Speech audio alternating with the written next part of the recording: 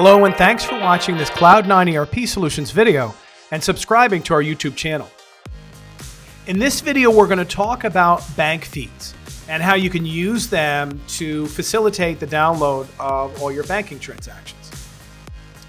So in Acumatica, if we click on banking, you may know that you can import transactions in Acumatica.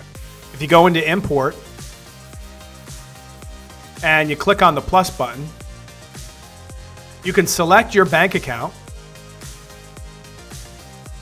You can click on upload file and you can select any OFX or QBO, QuickBooks Online file, and import your records into Acumatica. So you have that ability currently. Additionally, you can also import any Excel file. We recommend OFX and QBO because they validate. They can detect for duplicates so you don't get yourself into trouble. They know their date ranges and stuff. So you have that ability currently. However, in Acumatica, if we go back to bank feeds,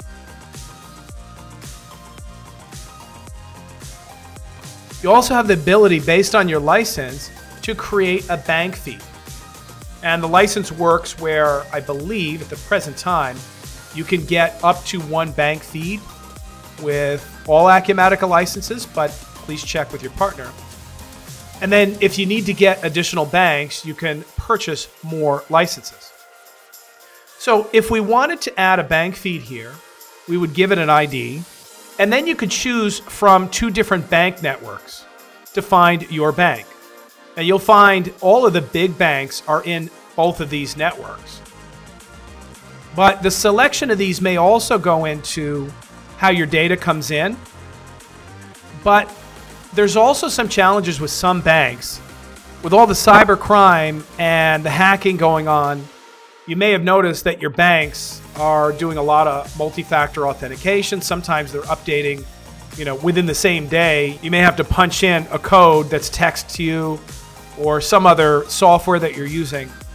And these present challenges that you may run into with some of these bank networks because the banks aren't all following the same procedures. Having said that, you shouldn't have any problems with the top bank networks. But still so, if we select Plaid, for example, and we select an import date, maybe we'll select December 1, and we click connect, you can see that Plaid comes up and it gives you some information about what you're going to be doing next. You're going to be sharing your data securely and you're always in control. They're not giving your login information uh, to anybody. So we click on continue, and it also says these are the types of financial data you'll share. You can click on it, it'll show you, and then you're accepting their terms of agreement. And now you can search through all the different banks. So as I said before, there's quite a few banks here. Um, these are just the top banks. But if you did a search, you would find uh, there's probably a couple hundred banks in here. But in our test, we're going to select Wells Fargo. So we'll click continue here. And then it's going to ask me to log in. So we'll click on sign on. Click on continue. You may get, again, a multi-factor here where it's going to ask us for a code. So I'll have that code text to me. Then we'll be given the ability to select what accounts we want. We'll scroll down and click continue. We'll accept the terms and conditions.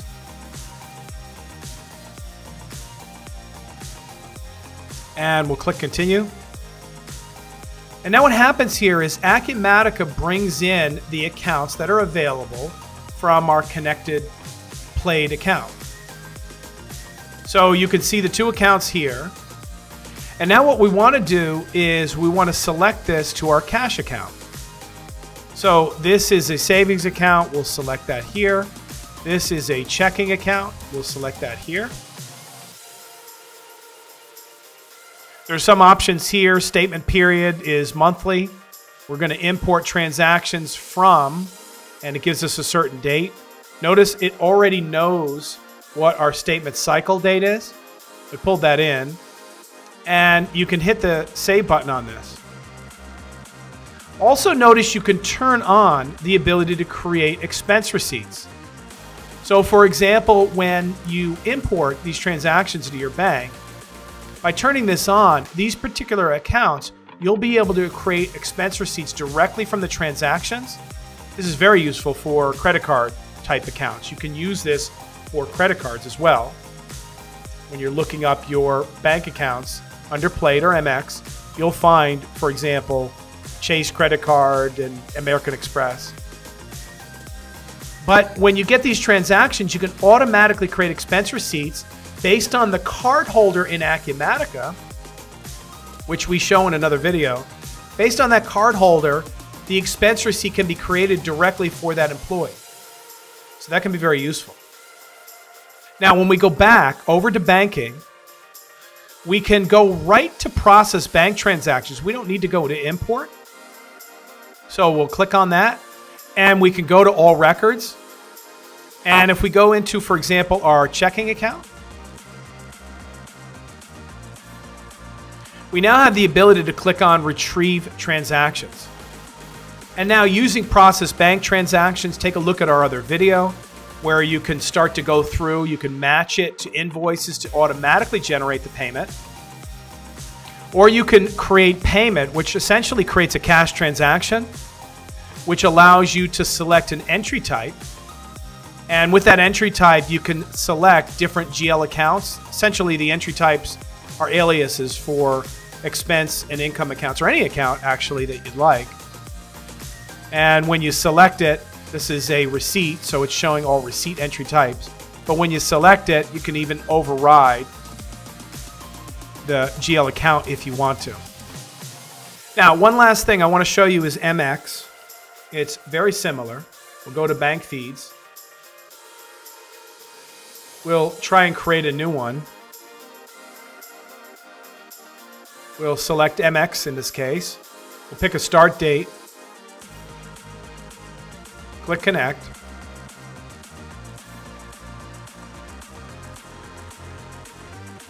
And you'll notice the screen is a little bit different, less uh, agreements and those kinds of things, but essentially it's the same thing.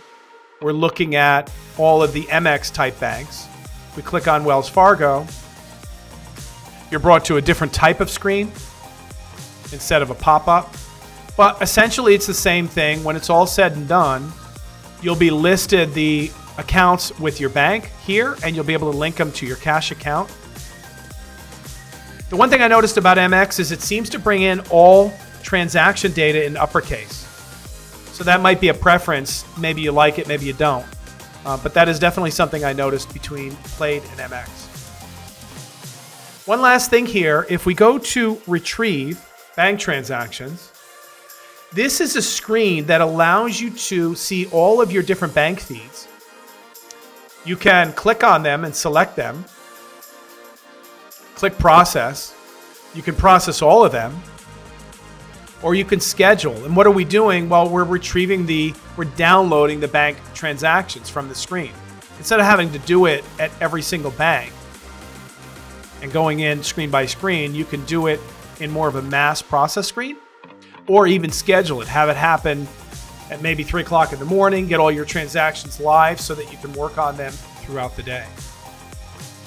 So thanks so much for watching this video on bank feeds.